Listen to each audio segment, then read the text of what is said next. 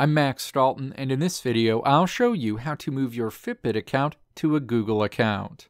Step 1. Open the Fitbit app on your iPhone, iPad, or Android device and then sign in to your Fitbit account. You'll land on your Fitbit home screen. Step 2.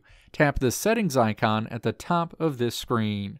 A settings screen opens. Step 3. Find the section prompting you to move your Fitbit account to your Google account and then tap Move Account in this section.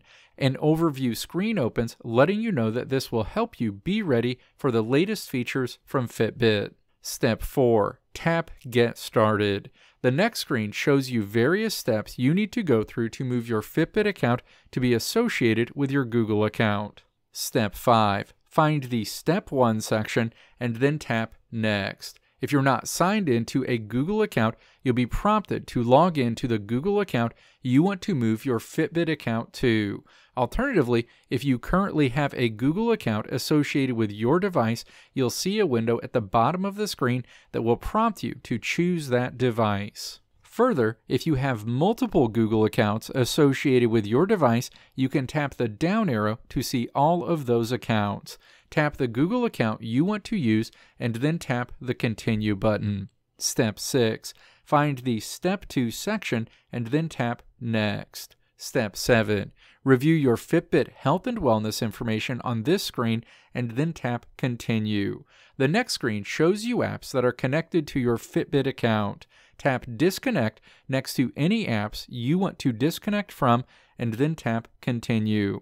The next screen prompts you to review your email and notification preferences. Step 8. Review and update your email and notification preferences and then tap Continue. Step 9. Finally, find the Step 3 section and then tap Next. The next screen shows you an overview of what data Google will have after this transfer, and also how Google will use that data. Review this information, review and give the required consent at the bottom of this section, and then tap Agree and Move. The next screen lets you know that your Fitbit account has successfully been moved to your Google account. Step 10. Tap Got It. The next screen asks if you want to provide your data to help build new products and advance health research. Choose whether or not you want to do this at the bottom of this screen. In this example, I'll tap No Thanks. You'll land on your Fitbit home screen. Let me know if this video helped you out in the comments below. If you liked what you saw here, click the video links on the right side of the screen to check out another video or click the logo on the left side of the screen to check out my tutorial website at www.maxdalton.how.